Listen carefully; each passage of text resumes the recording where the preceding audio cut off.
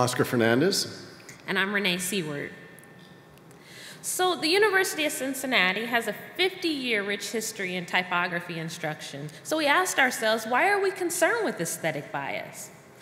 Well, we looked at the definition of aesthetic bias, and it's this inclination to prioritize the way things look over satisfying user needs. And like all bias, aesthetics are learned culturally since you're a baby.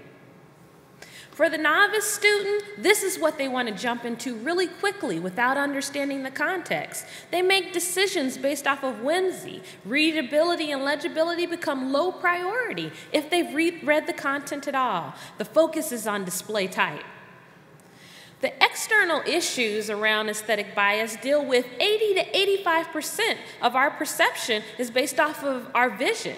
And society teaches us as visual arts were about self-expression. And social media's vast industry, industry or imagery has conquered over writing. If we look at our schools and the classroom, the recruiting material only emphasize this uh, focus on aesthetics. In the foundation courses, it solely is about aesthetic principles, and the teachers are eager to jump into these aesthetic exercises. We're all guilty of it. We want to have fun with type, but we are overlooking the pragmatic features to readability and legibility.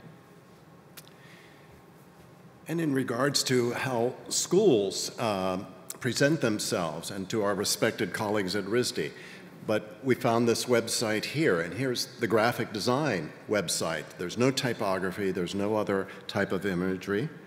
School literature, for the most part, and we've gone through many, rarely do you ever see people users. Uh, they're absent, and design, the message seems to be saying it's about aesthetics.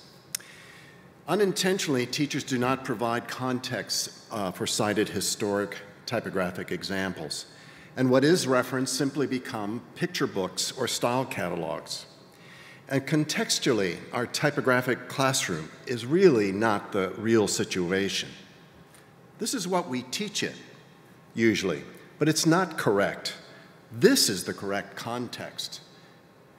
And then when we show one of our most treasured examples of inspiring design, like Weingart's famous series of student work, a young student unaware will just marvel at the use of typography, these very intriguing shapes, but rarely will they know that this really is all about a, a an important a European rail line at one time, the Trans-Europe Express how that train traveled through the alpine countryside.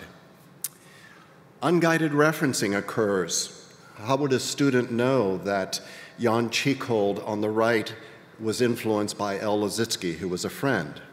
Would the student even read the captions in Weingart's book explaining what these pages are? And as I said, we are guilty. This is what I used to assign years ago to start typography, Introduction to Typography letter segments, doing it in nine square composition. We're all very experienced, we're all very knowledgeable, we all share a love for letter forms and type. We know that by themselves they're very beautiful, but we also know that part, when you apply a system, a set of rules, the magic occurs. There is sound, there is meaning, helicopter, but we also know it's part of a very sophisticated writing system. And yet, the incoming student, they still see it in this way.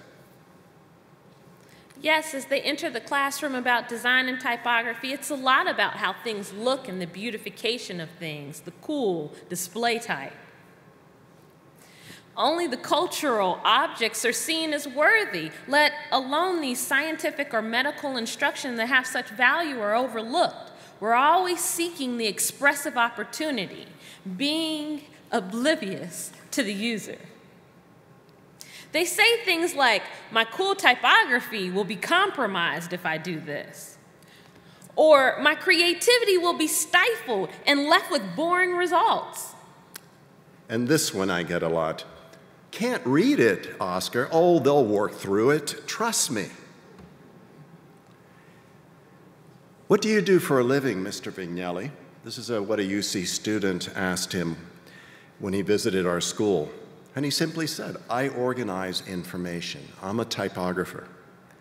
This what sets the stage for uh, an assignment that we developed some years back that we call the hat rack assignment.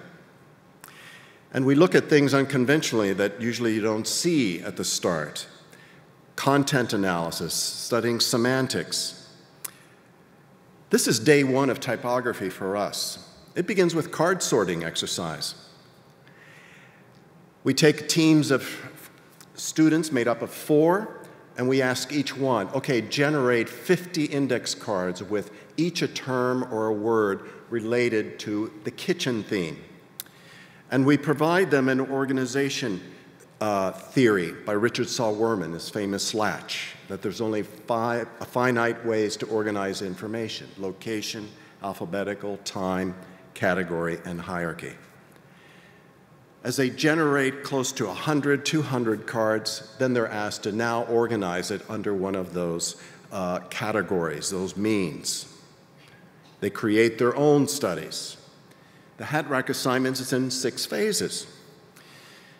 The second, they document and finally write about their findings. The third is information hierarchy. The third and fourth is about composition studies and visual semantics. And then last six is typographic narratives. So they document their findings together. And it's at this stage that we finally start introducing typographic basics, principles about how we read, letter spacing, line spacing. And we make them aware of the heritage that they're going to take on about type history and type families. And then we have them produce an information hierarchy uh, study. We give them a five column grid that they're going to work with in these next phases. We ask them then, without rearranging the words, can you show relationships with the groups just by layout and positioning, commonality, and uh, those that are not connected? And then challenge them even further. Can you show connections with, again, without moving words, and just utilize the fonts of the typeface and begin typographic coding. For instance, everything you see there in yellow is making a sandwich. 14 point regular type, lowercase, tight letter spacing, line spacing, making dessert.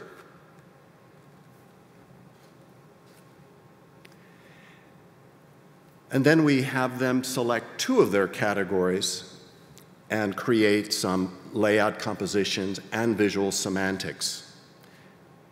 Every aesthetic decision made, typographic decision, is supporting the content of the words and their arrangement, the uh, length of their organization.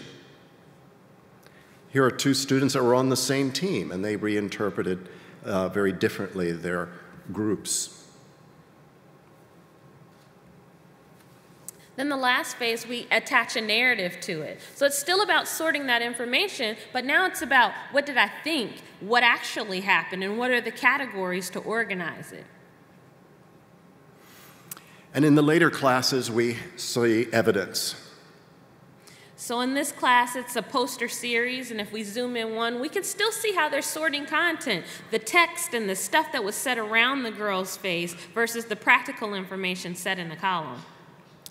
And then even later in the more advanced complex problems, a timetable, everything from the color decisions all go to support the content.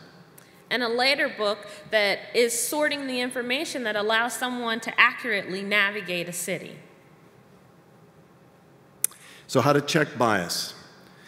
Begin studies with semantics. Remind them of the purpose of messages. Show them the thresholds. Cover type history. Share not only the experimental, but also the effective ones. Make students become content driven. Show the thresholds.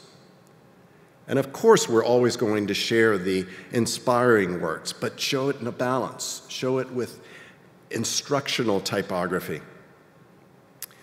Instill pride, make students become conservators. and make it relevant in the class. In the classroom, we put them in the shoes of someone who isn't them to have them look at their designs to see how well it functions. And we use Maslow's hierarchy of needs as a good metric. And I'm going to jump here because I know we've run out of time. But this is our basic intent that originality and beautiful aesthetics has to be a consequence of good typography work based on satisfying content and people's needs. Thanks, guys.